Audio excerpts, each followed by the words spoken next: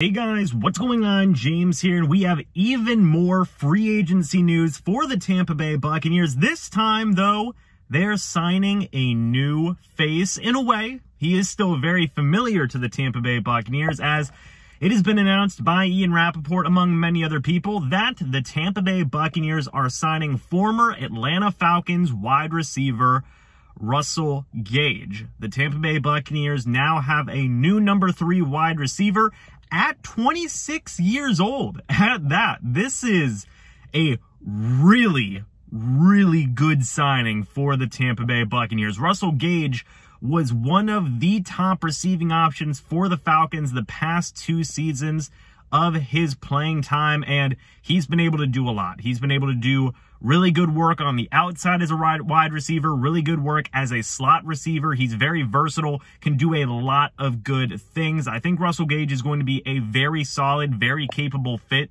in a Byron Leftwich style offense. And in my opinion, folks, Russell Gage is probably one of the better third wide receiver options that were out there. I know I made a video talking about how the Buccaneers were going to be interested in a guy like Jarvis Landry. I put Russell Gage right up there in a similar tier. I think that this is going to be a very, very productive signing for the Bucs. We don't have any contract details yet as to how many years or what type of money Russell Gage is going to be getting. Once that information is out, I will be putting it down in a pinned comment down in the comment section below.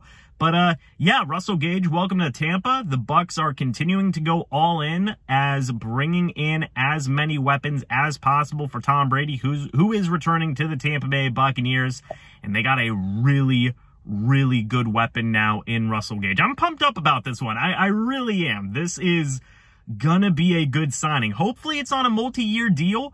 I think if you have a wide receiver trio of Mike Evans, Chris Godwin, and Russell Gage, you're in a fantastic position for your wide receiver group for a good long while. It takes pressure off of guys like Tyler Johnson, like Jaelon Darden, and maybe Scotty Miller if he does end up figuring into the final roster of this team.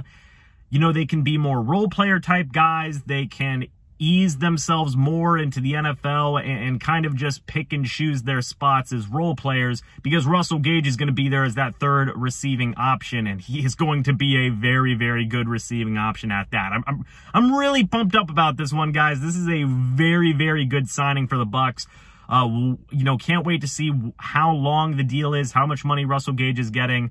Uh, yeah, this is a good, new, but also somewhat familiar face for the Tampa Bay Buccaneers, joining a very, very lethal passing attack that just got even better. So what do you guys think about this signing? Let me know your thoughts and opinions down in the comments section below. I would love to hear your thoughts and opinions. Thank you guys so much for watching this video. Hope y'all enjoyed, and I will see you all in the next video or the next live stream. But until then, and as always, guys, goodbye for now, and go Bucs.